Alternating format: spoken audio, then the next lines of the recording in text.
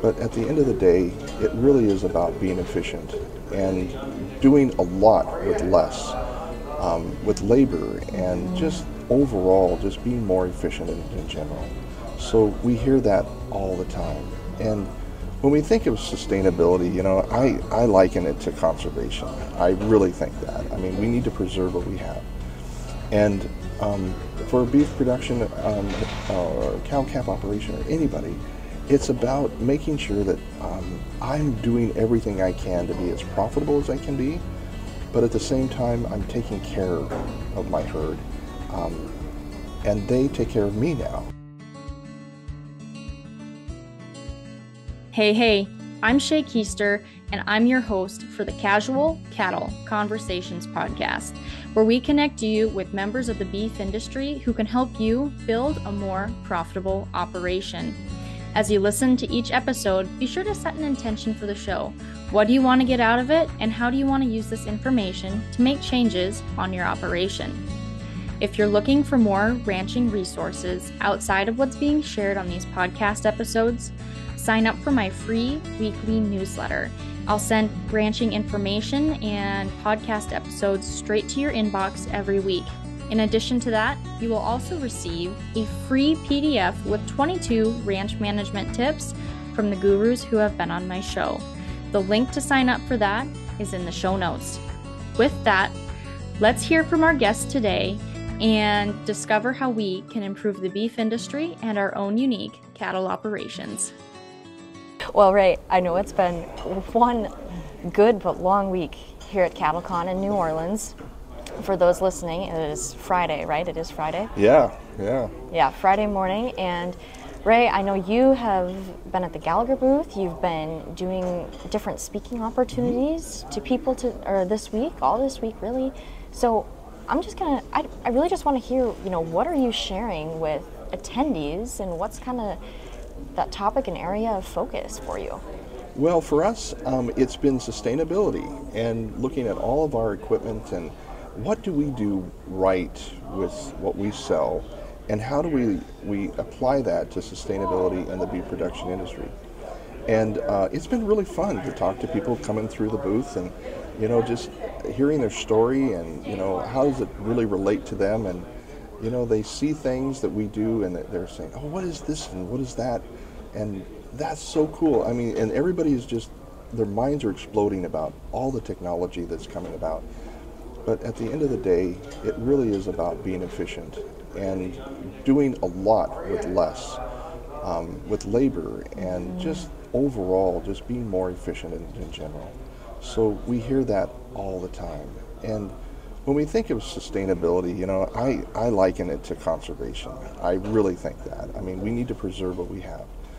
And um, for beef production um, or cow calf operation or anybody, it's about making sure that um, I'm doing everything I can to be as profitable as I can be, but at the same time, I'm taking care of my herd. Um, and they take care of me now. I mean, mm-hmm. I, I, it's about animal welfare. It's about taking care of my family, and it's about my kids coming back from school and learning, and, and being excited about coming back onto the ranch. And that's that's been a real uh, joy for us to really talk about with folks as they come through the booth.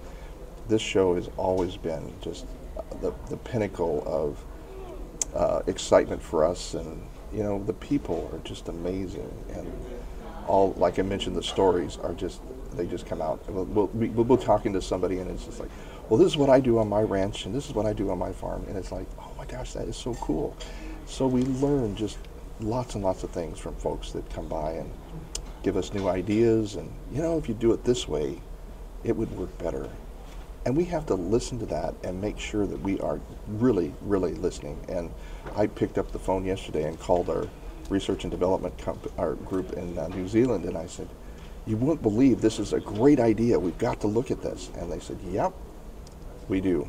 So, and uh, so we're we're going to make some changes, and we're turning on a dime. Gallagher has been around for like 85 years. So we've been through a lot. We've been through all of the different economies worldwide. And so it's all about making sure that, that we're always reinventing, um, but moreover, listening. that's our big sustain. Well, absolutely. And I also would agree that it is the people and just hearing how everyone does Yeah. something different, but still with the common goal. And is, you know, there have been a lot of sustainability conversations here, Sure. but what I really like is that conversation of it's necessary to make sure that, like you said, that next generation can come back and, Yeah. you know, how important, but yet how exciting and fun to Yeah. know that you can make to make take actions and make decisions now that we'll be able to do that. Well, that's it. And because the biggest issue is, and, and sometimes in a family organization, um, we we have um, yeah, mom and dad and, and maybe even grandparents that have been on a legacy farm, and you know it's it, they they've got a way of doing it. So i the most successful are the ones that listen to their kids. That's tough because they've been doing it the same way forever. And when they come back and they bring new ideas, uh, it's it's wonderful to hear the story of, yeah, dad dad loved this idea. He wished that he'd been doing it the whole time, right? And so we're seeing those successes come through, and it, it, it's exciting to see the young folks come through. I, I can't believe how many uh, folks we've talked to that are, um, you know, they're in their 30s and they're just so excited about life and and what's what's to happen, and they can see that they're going to be able to make it in this industry. So. Yeah, how remarkable. So tell me a little bit more about what you've been sharing in cattle Yeah. chat sessions about the sustainability topic. Well, the, the sustainability um, is, is, is kind of broken down by three pillars: uh, the social, the economic, and the uh, and the environmental. And and how it relates to, to the cattle production is that you know in the social area we we're worried about worker safety and animal welfare, antibiotic use, um, and then of course technology, and just the culture of traditions of beef production. And then when we talk about economics, you know, it's pretty self-explanatory when we're thinking about what we can do to improve rural economies, um, livelihoods, and affordability of beef to, to consumers, and moreover, profitability of beef producers, uh, and just the whole value of the ecosystem of beef production. Um, it's a great to know that uh, the beef farms and ranches represent over 30% of the farms in the U.S and that's making up the single largest segment of the U.S. agriculture right now. It's uh, it's amazing. And then environmentally, um, we need to give back to the land. We need to be able to to preserve the ranch land that we do have by intensive grazing. Um, and just looking at the whole ecosystem of our of our properties and making sure that we're doing the right thing, um, keeping animals out of waterways, and you know then rotationally graze all, all th- as much as we can. Um, uh, you know we need to protect wildlife too. I mean it, it- we need to keep them excluded, or you know so we have more to work with. Um, so we worry about soil and rangeland health and, and plant growth health, but we utilize a, a lot of human and edible feeds too to make it work, and so there's less impact on you know we're reusing everything, right? So that's exciting stuff. Um, I mean, Shay, you could probably attest to some of these things that you've heard in the industry. You've been around for a long time, and um, I, I I get really concerned when I hear some of these myths about you know cattle, and we have association with people that are they don't eat beef, and it's like ah, they have misunderstandings. Well, so I'm actually here at convention wrapping up my time as a trailblazer to which is in part with the beef checkoff as well as NCBA and it's Yeah. a year-long advocacy program. So yeah, I've really been spending the year really deep diving into that even though it's always intrigued me. You know, what are these misunderstandings and misconceptions? And it is frustrating to know that people don't know the truth about beef, whether it's nutritional, like you know how healthy beef is for Yeah. you, how nutrient dense it is, whether it's a conversation about beef and the environment, if it's greenhouse gas emissions, whatever it is that people are concerned about. And you know what? When I have the opportunity to talk to consumers who do have these concerns, because it does happen more frequently than you realize once you leave the ranch. Yeah, I I can still empathize with them because if they care about the environment, I can say, I care about the environment too. Yeah. Here's how I'm doing my part. with cattle. And so that's how I kind of recommend to people to go about it because at the end of the day, they have the same concerns, but it's our job to share the right information with them. And I know it's frustrating when there is true misinformation being spread. Like, that's just not right. But we need to do our part to get the right information out Yeah. there first. But at the end of the day, yeah, we've we've all got we're all humans and we all have similar concerns. We just need to share that. Well, and the thing about you know um, a conversation I had the other day with a with with a person, um, I told them what I did for a living, and uh, said, "Oh, you know what? Cattle are just the leading source of greenhouse emissions." I said, um, "No." they represent maybe about 3.7 percent of gas emissions, but uh, it's a very small part of that. And I, I'm telling you, if you have a plant growth, you know, uh, or a, uh, a plant-based diet, uh, you're going to have more chemical, You're going to have more, you know, fertilizers or um, uh, pesticides rather, and it's it and there's more erosion that, that occurs without cattle. Um, I just I just get really frustrated when they just spew off this stuff that they're just misinformed, and it's it's not their like you said it's not their fault. It's just there's a media campaign against it, and it's just awful. Um, you know, from water intake to the corn that they eat. I mean, we we we see that the producers are using about 10% of, of harvested corn, um, about 8 million, 8 million acres of corn. Um, this lady the other day said, well, you know, it's uh, they, they, you know, 100 million acres of corn are being fed. to And no, it's not right. You know, um, we're more efficient, more sustainable than they could ever imagine. And that's I think, you know, that's easiest easier for us because we understand that that corn is not meant to be consumed Right. by humans and we understand the industry better, but we live in such a complex industry. Yeah. And I liken that to if so I was on a plane a few months ago and I was talking about what I was doing. Well then people had questions for me about the beef industry. Well then someone else was in like the transportation industry and I had questions for them about it which they probably thought were kind of stupid questions. But if you're not in the same industry, it, it's hard to understand because each industry is complex and can be. Yeah, absolutely. And if you think about it, um, we are the world leader in uh, beef, beef supply at 18% of the world beef supply, and we do it with 6% of the world cattle. It's just it's just crazy cool. And with that comment that you made about the transportation and and uh, the other, uh, the, what was the other? You meant you mentioned that you were having a conversation about on the plane with somebody and uh, uh, and they were in the industry, the, the transportation industry. Uh, It, I wonder if they realize that some of the byproducts of cattle help that all work. Like there's lubricants and Leather seats. leather seats.